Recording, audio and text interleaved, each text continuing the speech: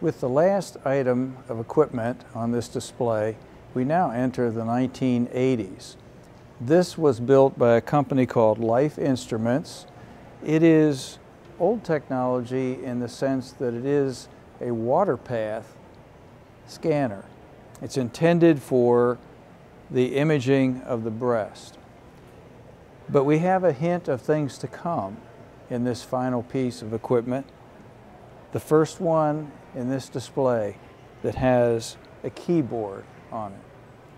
So as we have gone through this equipment covering the late 1940s into the 1980s, we have seen the progression from equipment that presented A mode information to equipment that presented A mode and M mode information to equipment that then could produce a static two-dimensional black and white anatomic image to equipment that could produce a two-dimensional image but with grayscale with the introduction of the analog scan converter, the addition of Doppler to these devices, and finally to one that has a keyboard on it.